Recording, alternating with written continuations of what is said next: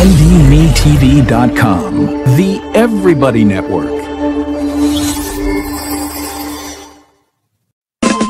From Palm Springs, California, it's Curiosity with your host, Renee Poingard.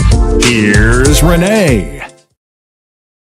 Hi, I'm Renee Poingard, and welcome to the show Curiosity. I am loving this show because the fact of our fantastic guests and also what is being revealed to them.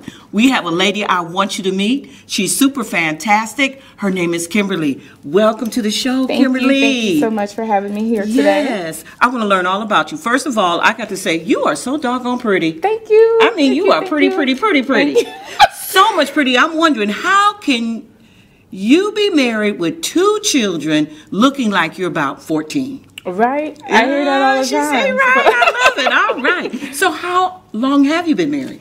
Uh, right now, we're getting ready to celebrate eight years next month. What? Yeah. Mm-hmm. That's wonderful. And how old are your children? I have two 10 year olds right now. They are 11 months apart. So I have one turning 11 actually this Wednesday or Thursday. So you had like one long pregnancy. Yeah, Uh-huh. all year. Are they very year. close? You know what? My mom wanted to name them identical to each other, but they look totally opposite from each other and two different personalities. Do they clash or do they ma- mesh together? I mean, they do what all typical sisters do. So, uh-huh. I mean, they love each other, but they clash with each other. So, but they are each other's best friend. All right, so I just got to go here now. Mm-hmm. All right, so you have a baby in your arms, you're carrying a baby, and now you have two babies in your arms. Mm-hmm. What was that like? You know what? Especially being a first time mom, it was an experience that I'll never forget. But you know what? Even to this day, at them being 10, I still make them lay on me as they were when they were babies. I just love that feeling. I fall asleep with one in my arm and one lay on on top of me, even to this day. So I wouldn't change it. I would That repeat it again. wasn't it? Yes, it was. That's Yes. beautiful. Yes. That is so beautiful. Thank you. And I also hear that you're a realtor. Yes, ma'am. I Tell am. me about that. How did that happen? Was that before children or after children? So that definitely came after children. So I did spend uh, about 15 years in the corporate business, and I had made a decision at toward the end of my uh, experience with the corporate life to go self-employed. I really didn't know what I wanted to do. I know I wanted to definitely be a business strategist because I left Wells Fargo Bank as a business specialist there for eight years. Oh, wonderful. So I wanted to branch off on my own and try to do something else and, and not be so tied down to the corporate politics and things of that nature. So I found out I've always been in school. I found out I had all the classes that I needed to take to get my real estate license. I did not know. So I submitted the application. I studied really hard and I made it a point to know that I was going to pass that exam the first time. Mm-hmm. I just didn't know I was going to pass it the first time within an hour. So when I walked out of that three and a half hour exam in 59 minutes, done, ready to go. Oh, look at Miss I Kimberly. knew that this was the career that was meant for me. So it's had its challenges, but you know, it's still been rewarding along the way. So let me ask you a question. Number one, I could tell by your enthusiasm. You're an intelligent person.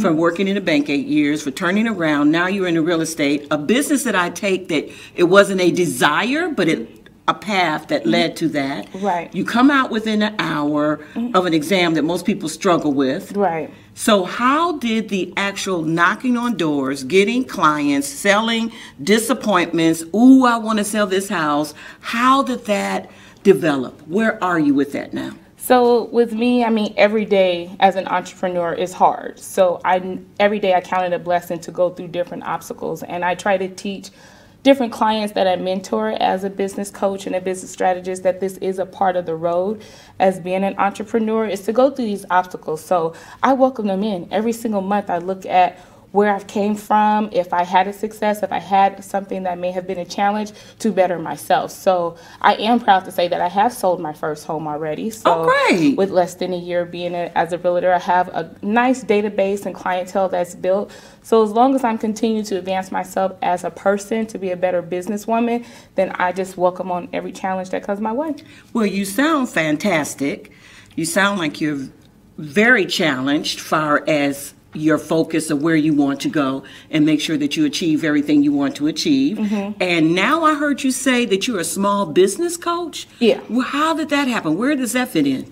So, like I said, I was with the bank for eight years, and mm-hmm. I was there as a business a specialist there. So we did coach a lot of small business owners and entrepreneurs around managing their finances and ah. advancing in their business. But uh-huh. I wanted to take it a little bit further because I do have a background that supports lending and go into that whole spectrum there.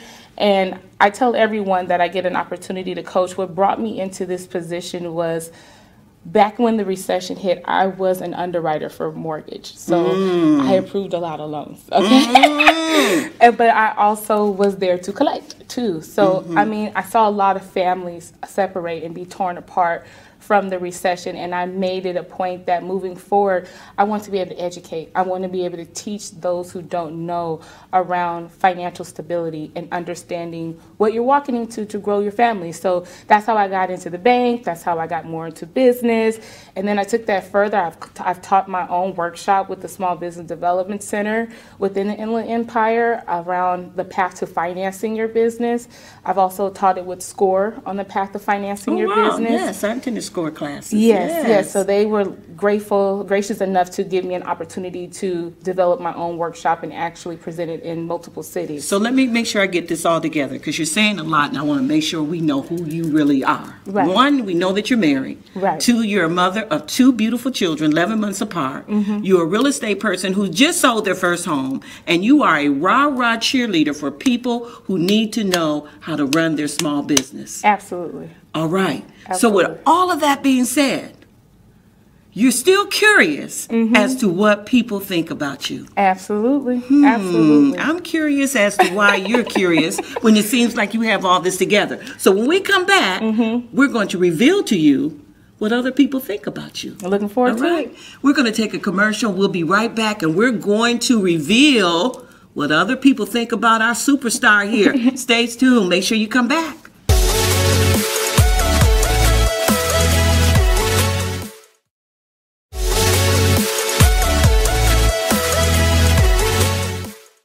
We're back, and I'm excited because we have Kimberly, who is so doggone positive mm. in her way of thinking and her job choices, her family, a mother of two. I am loving this. So now we're going to reveal what people think about you. Okay? let's go. So let me tell you, that means that we have comments from maybe spiritual associations, your friends, mm-hmm.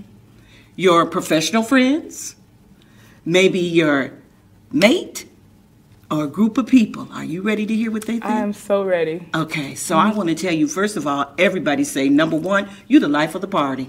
That's true. Well, so how are you the life of the party? I mean, I'm always laughing and smiling. So my dad was a comedian. My whole family is comedians. I Uh-oh. mean, I'm one of nine, so we have a pretty big family, and So when you walk into the room, you know how to command I room. know how to absolutely. Okay, so then the other thing they said, they said that you are always positive, which I can see that right now myself, and that you're always loving, that you're kind, and that you're a woman of God. Mm-hmm. All of those things are what your friends feel about you. Mm-hmm. You feel like that's great? I feel like that's amazing. That's what I strive to be. That's really amazing. Uh-huh. And they also said that you're a best friend of your children. How do you become a best friend of your children? I mean, I try to allow. We were all brought up. I mean, old school. At least I was old mm-hmm. school, and I value a lot of the principles that I was brought up on. But I do also want to also implement things to allow my children to explore their own personalities and their own be their own person. So. Mm-hmm. When I when people say I'm best friends with my kids, because I give them an opportunity to voice themselves. I give mm-hmm. them opportunity to show their personality and express that without being so judgmental or having things already planned out for you. So I do have a 16 year old stepson that lives with me as well. Mm-hmm. And right now, I'm telling he's really, really good on uh, Fortnite. And I know gaming is the thing right now to make uh-huh. millions of dollars. But I'm teaching him like that is a source, but I want you to also identify with yourself. Tell me who Tyron is. So that's where we're at. And I'm allowing him to explore that and mm-hmm. while he's going through preparing for graduation. I got something to tell you, Kimberly, and this is disturbing to me. I mean, really, really disturbing to me because of looking at you, the person who you are, the coach, the positiveness, and I want to give you all of that. But you have three things that people have said about you that disturb me because I don't feel that about you. So let's go there. Let's go. Mm-hmm. Okay. One, they said that you're very outspoken, which is not a positive way, but a negative way, that you view your opinion openly, and sometimes it's not appreciated. Mm-hmm.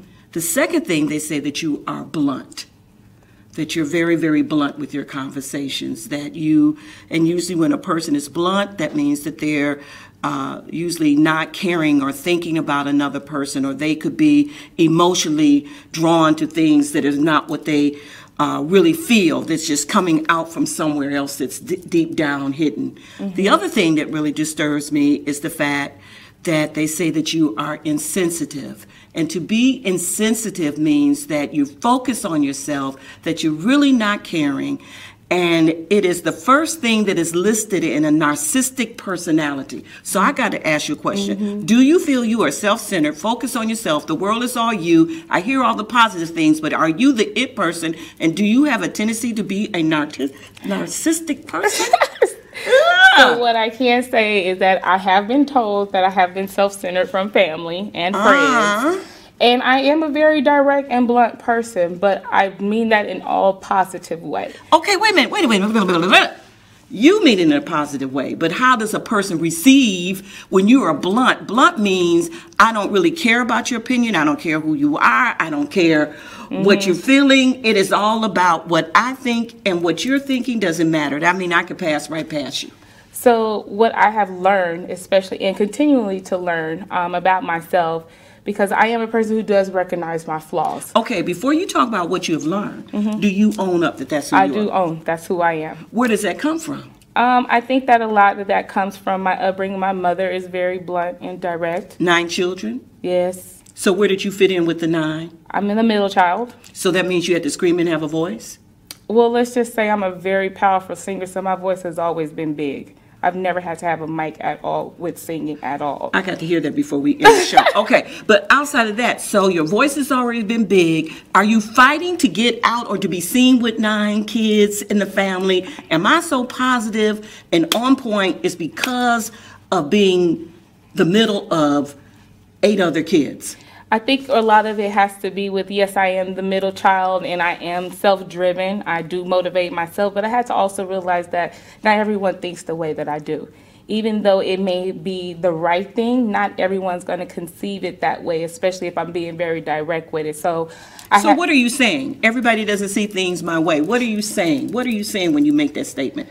So what I say, like there may be some situations where we know right from wrong, mm-hmm. regardless if we where we come from. You know right from wrong, and if I voice my opinion on what we all know is right, and you may not be in the position to accept, take accountability for your actions, to know that what you're doing is wrong, it may come off as blunt to you because mm. I'm being direct to you and letting you know that we know right from wrong. Mm-hmm. So I had to realize that just because I may feel or may know that a situation is right, I have to know how to choose my words when I'm expressing that to an individual and learn how to more empathize with them because obviously they don't feel that way because they're responding in a certain way that we know may not be right. Okay, so I have expressed to you my disappointment that I see this beautiful mm-hmm. outside and inward woman mm-hmm. who's positive, helping other people.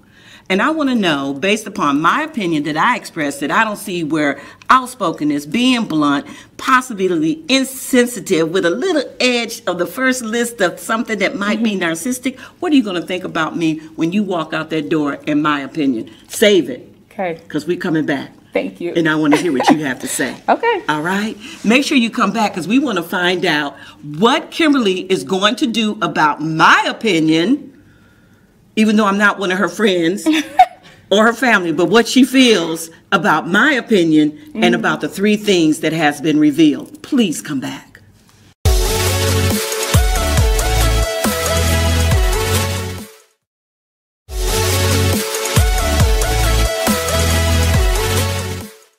Welcome back. We have Kimberly, which I failed to reveal to you. The people told me you are a hothead. So am I going to sit closer to you? Or am I going to move aside when you get ready to tell me about being blunt, which usually mean cruel? Mm-hmm. Cruel. Mm-hmm. Insensitive, which Yeah. usually means the first thing that's listed on a narcissistic personality, Mm-hmm. outspoken. Are you hot headed? Do I need to move over to the side or, or am I good sitting right here? You good. You okay. good. so when do you get hot headed? I don't. You know, there Why was does someone say that you are hot headed? there was a time that I did get very hot headed with my mouth. Now keep in mind I've never been in a fight in my life, okay? Uh huh. High school, childhood, nothing. I am the the non confrontational person that you would come across.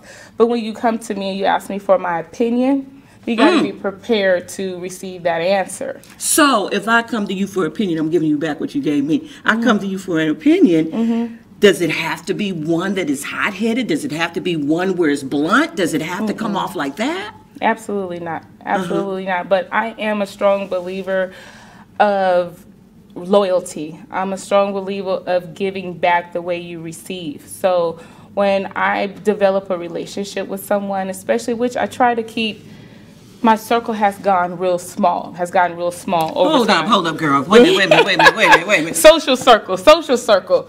Are they small because you blunt? No. Or are you because you're insensitive to other people? I mean, why is your circle getting smaller instead of bigger? my circle is small because of choice because everyone comes with their own flaws their own abilities to do things in a good way and a negative way but i do am a strong believer that i cannot allow anyone to drain my energy to drain my spirit. Just as highly as you spoke of me being motivating and supporting each other or other business owners and getting out and making a name for myself that also requires that i have to control my space and control my energy because i have a bigger plan in place so, yes, at times when it's friends or family that may not understand the journey, and you have to be blunt with them to take control of your time, to con- take control of your energy, is not perceived as that, that way. It's not perceived in a nice way at times. Kimberly, I need you. Mm-hmm. I need you. I am hurt. I am one of these small business people who cannot make it. I'm, I'm, I'm confused. I lost my money. I want to do better. I'm hurt on the inside. I come to you asking questions, things of that nature that you feel that I'm draining you. Where do you draw the line between a person draining you? Is it because they're not accepting your opinion, what you think, what you feel? Mm-hmm. Where does the drain come from? So the drain it comes from and it's not from my clients because I am a very professional and I like to keep business business and personal personal. So definitely on a professional level, I do not allow that. I've I've gained enough strength and gone through enough obstacles to know how to handle myself in the midst of objections through my clients. Mm-hmm. But when it comes to my family, the people that I lean on to be there for me, especially when I'm weak and when I need help, then yes, that's when I I draw the line from draining that personal energy from me in that way. Okay, so let me let me add on to that. So, what do you do with a person like me who's in mm-hmm. need of you mm-hmm. in your professional life? Mm-hmm. I get on your nerves. I'm draining you to a certain degree. I'm not accepting what you're saying because I can't see it. What do you do to make sure that you keep me as a client? So I empathize, I listen, and I empathize with you because business is business. And my job is to understand your concerns and fix the problem. But when you come to me, first of all, you sought me and then you paid me for my services. So obviously, you admire me and what I do. Mm-hmm. So when I give you a path or give you a plan to implement to advance in your career, you won't perceive it that way because you already know me on a pro- professional level. Your family know you. Right, They've come to you. right. why don't you use those tactics with your family so they don't mm-hmm. view you as being outspoken, blunt, non-caring, headstrong, and insensitive? Because the apple don't fall too far from the tree. So you're saying your family, you actually pull these traits from your family, you feel? I feel that yes, some of my traits have come in being blunt, direct, um, a little bit unsensitive, have been from my upbringing. Yes, my, my dad was very blunt. My mother has been very blunt. Yes, now time that she's time has gone by and she's grown and we've all grown now. You know things are a little different for her, but I'm still in my growing stage. I'm still learning. I'm still. Where does the hothead come from? Where in all of this do you don't- have I a label of not- being a hothead? like I said, sometimes I don't I'm non-confrontational. I won't go back and forth in the debate of conversation with family. But you'll walk away. I will walk away. Uh, how does that look? Why hothead? Okay, so I'm in a situation where my family things don't go well. I get down. I try to be passive. I let it go. This is my aunt. This is my whatever. But where does the hothead come in? I don't see this in your circle. Why Right. are that? Why is that labeled? I believe the hothead is just labeled in my words. I'm very direct. Okay. Mm-hmm. What I'm, words do you use? I'm not be no form of profanity or I'm anything not, I, think, like that. I wouldn't have asked that if I But- thought it was. Uh-huh. but very direct. I'm going. Like, give me. I feel that you give me a hothead. I feel that you don't value yourself. Oh, you made that judgment on somebody. Correct. Tell me the way you say it to the person. I want to hear. I want to hear Kimberly say it. I feel that you don't value yourself. And they say, "What make you think that?" and I lay out the examples from our and I'm a queen of reinstatement. I'm mimicking everything that you've told me. I'm not adding or taking away. I bring to the table facts. And I have stated that many of times. I'm only bringing you facts. I'm not bringing you my personal opinion. I'm giving what you gave me.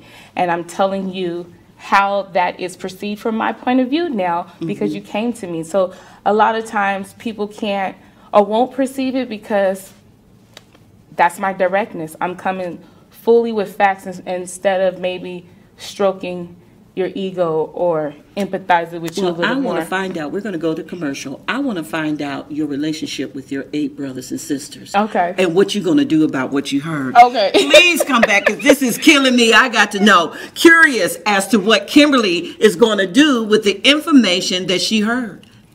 Come back.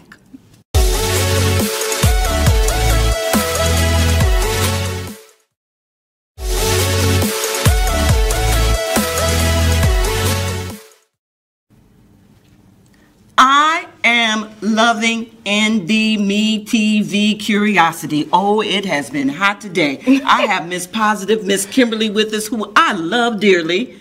However, it has been revealed that she's a hothead. Cannot see it, don't want to see it. The second thing I heard that she could be blunt. I don't know what she's going to think as she walks out the door talking about me. And then the third thing that I know is that she could be insensitive, which I find very hard to believe. But you've heard this.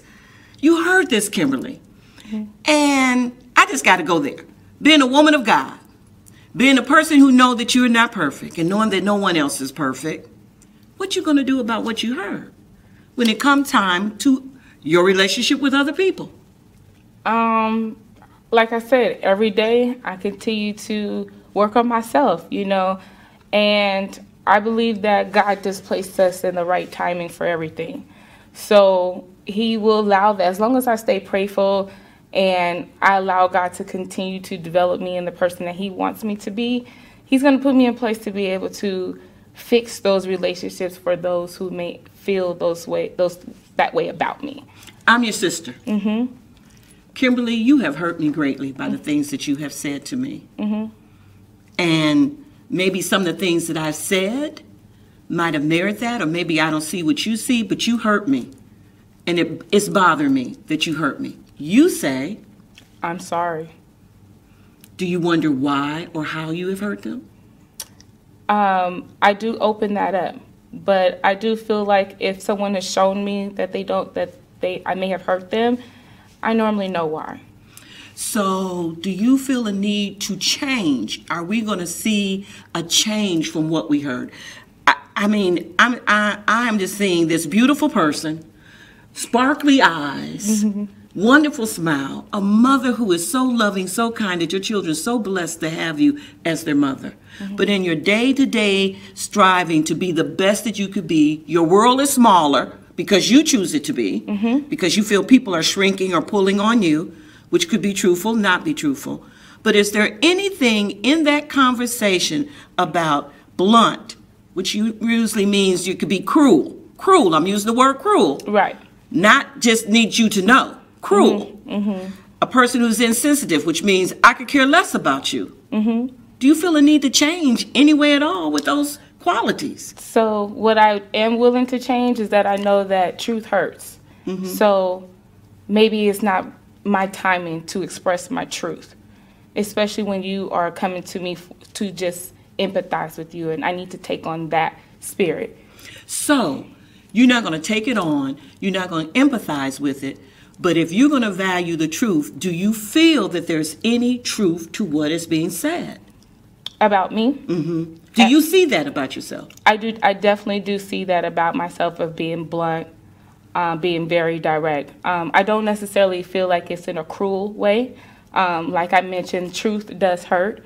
Well, blunt doesn't mean it's not like you see in a cruel way. It is cruel. To be blunt means that there's no open door for anything else. It's cruel.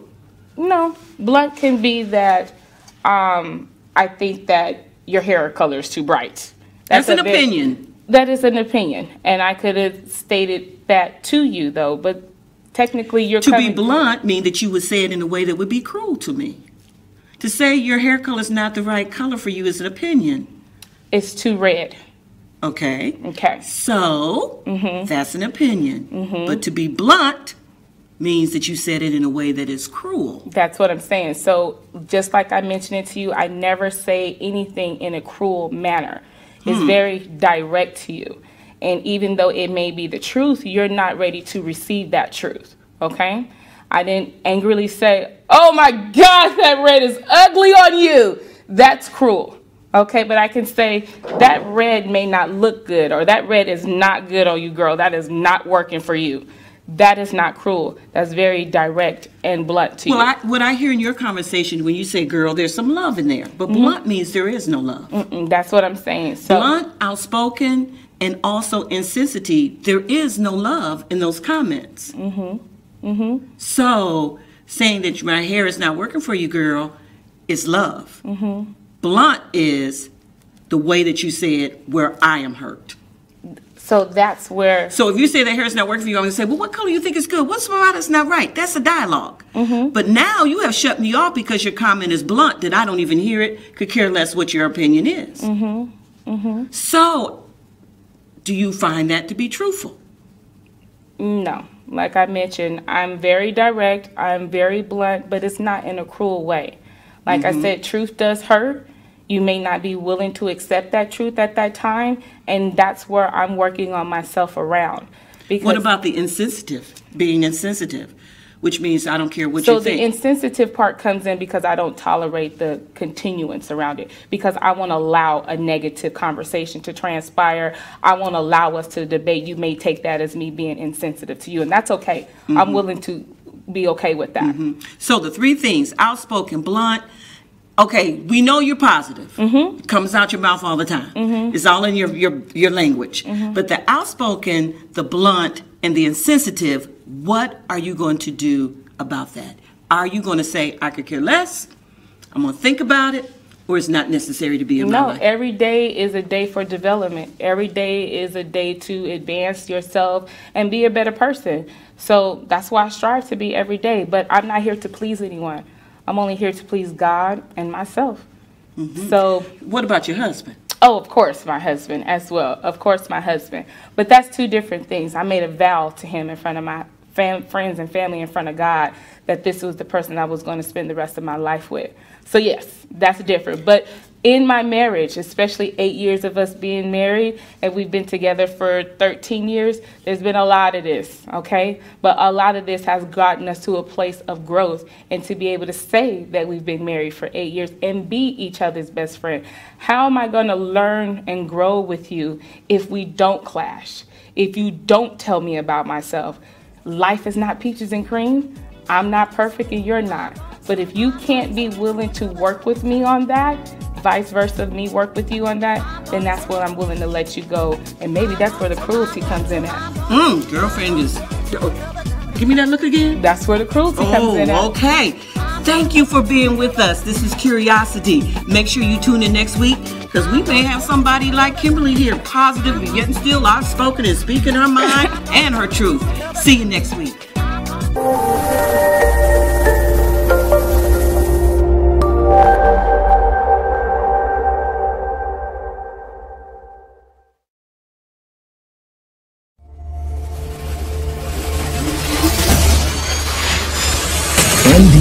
NDMeTV.com, the Everybody Network.